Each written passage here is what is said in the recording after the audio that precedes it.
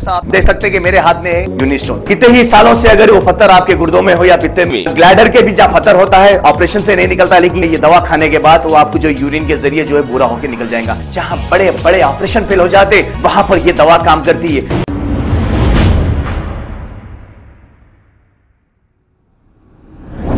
अस्सलाम वालेकुम नाजरीन सेवन एच न्यूज़ सच को रखे आपके आगे।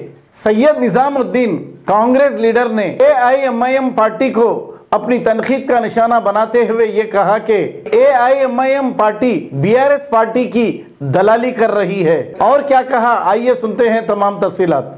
कई को देना आप जो है बी आर एस के साथ दलाली कर रही। 2004 से 2013 तक तुम कांग्रेस की गोद में बैठे हुए थे। जब समझ में नहीं आया कि कांग्रेस पार्टी बुरी है, कांग्रेस पार्टी की जो है आइडियोलॉजी आरएसएस है बोल के बोलते तुम। जब समझ में नहीं आता, जब गोद में बैठे पे राजशेखर रेड्डी के गोद में बैठे, राहुल गांधी जी के बाजू बैठ के फ़ोटो उतरे पूछना था तुम्हारे बड़े भाई से, कहीं उतरे फ़ोटो? कहाँ से आए उन्होंने बोल के पूछना था।